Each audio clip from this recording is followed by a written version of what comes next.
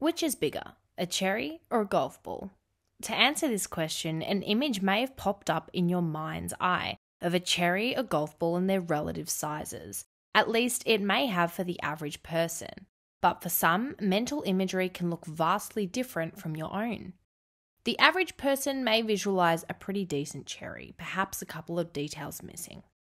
Individuals with aphantasia, however, may see a cherry in black or white, perhaps not be able to place its size in relation to a golf ball, or can't visualize a cherry at all. On the other hand, those with hyperphantasia have described mental images as vivid as real seeing. Today, I will be presenting the paper Congenital Lack and Extraordinary Ability in Object and Spatial Imagery, and an investigation on subtypes of aphantasia and hyperphantasia. The beginning of the paper is dedicated to outlining previous research. Referencing a conglomeration of studies, the paper distinguishes between two forms of mental imagery based upon the two visual brain pathways. The first is the ventral pathway, which processes the properties of objects like colour and shape. The second is the dorsal pathway, which processes spatial attributes such as size and location. Hence, the same object versus space distinction is hypothesized to translate into mental images as well. The paper includes findings from recent studies that support this hypothesis, yet identifies three open questions that had yet been unanswered. Firstly, can the subtypes of aphantasia and hyperphantasia, spatial or object, be identified? Secondly, do individuals with aphantasia have a different experience of involuntary imagery than the average person? And thirdly, does a lack of spatial and object imagery affect other cognitive skills? These can include retrospective and prospective memory to sense of direction or facial recognition. To address these queries, the authors collected and analysed data from a sample of 490 healthy participants.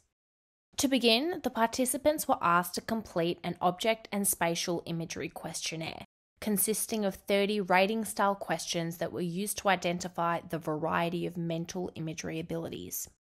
They were able to successfully identify 15 people with object aphantasia, 17 with spatial aphantasia, 8 participants with object hyperphantasia, and 14 with spatial hyperphantasia.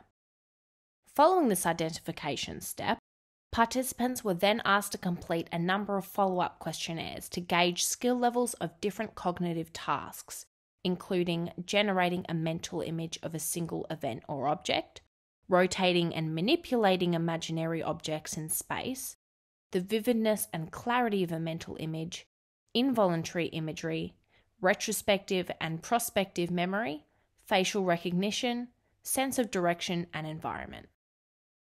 It was hypothesized that those with object aphantasia or hyperphantasia would have enhanced or altered abilities for object visualization, respectively.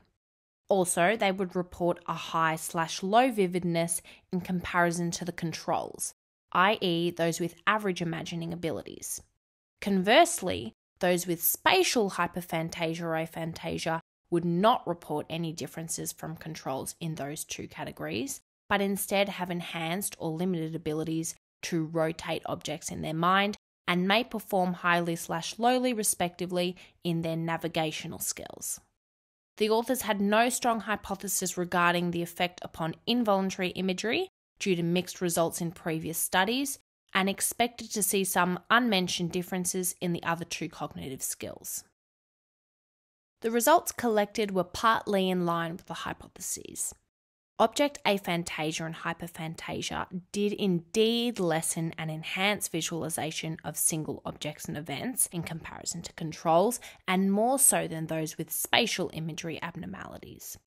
Likewise, those with spatial aphantasia had worse self reported abilities of spatial visualization, and those with spatial hyperphantasia better abilities than controls.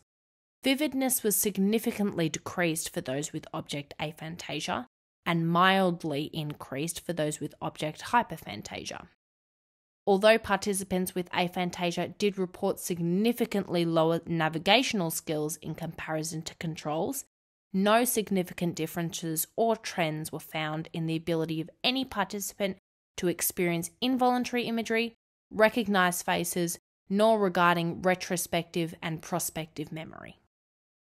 This study sought to investigate a possible distinction between object and spatial imagery skills in the visualization extremities, as well as the implication of these abnormalities on a variety of cognitive skills. To this end, the results certainly proved that spatial and object imagery resulted in differing abilities for imagining, both in relation to controls and each other. Involuntary mental imagery, however, was shown to be completely unaffected by one's ability to purposefully imagine.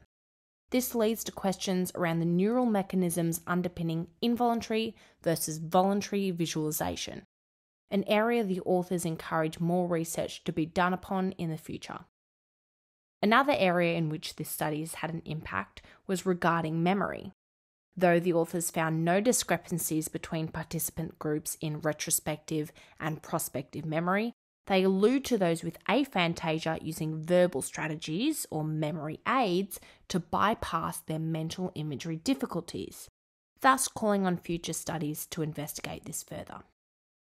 The authors leave having made a preliminary and fascinating impact upon their research queries into the subtypes and implications of aphantasia and hyperphantasia, and provide appropriate next steps for those interested in this field of research. Thank you for listening.